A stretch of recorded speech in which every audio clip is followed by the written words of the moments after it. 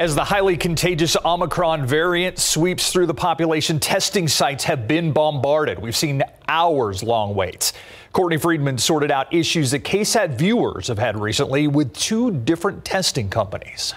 The majority of the free testing sites on the City of San Antonio's website are through Curative. This morning, some people were notified their appointments had been canceled. And when they went to the Curative website, it didn't show any operating sites in San Antonio. We began asking questions, and around 2 p.m., the Curative website began to show its San Antonio locations again with available appointments. Curative Communications Manager Pasquale Gianni told us the website had a temporary technical issue earlier on that was quickly fixed, and any cancellations due to that were resolved resolved by our support team. One person whose appointment was canceled told KSAT it has since been rescheduled. The second testing update from Community Labs, a nonprofit that processes PCR tests in labs right here in San Antonio. Sunday, they announced a delay in results that today we found out was due to a shipping delay in Nashville caused by severe weather and short staff. Yeah, there were two two small chemical components uh, that were not delivered by FedEx. We didn't get those components until Monday morning, and so uh, you know we got we got behind on Friday,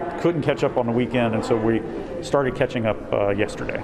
Community Labs President Sal Weber said there are people working in their lab 24 hours a day right now to catch up, meaning if you're waiting on test results from last week, it may take a little longer than the typical 24 hours to get those back. I would say within the next uh, 48 to 72 hours, we should be we should be caught back up. Weber said they haven't had a logistics problem for the past two years they've been offering tests and want people to confidently continue testing to stop the spread of COVID 19.